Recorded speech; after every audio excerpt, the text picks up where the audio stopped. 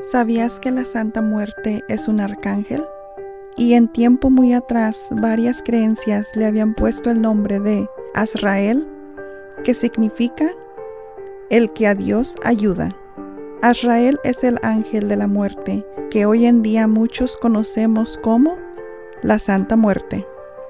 No podemos negar que son muchos mitos y leyendas que rondean sobre la historia de la Santa Muerte, convirtiéndola en una de las entidades más misteriosas, pero veneradas por muchas personas.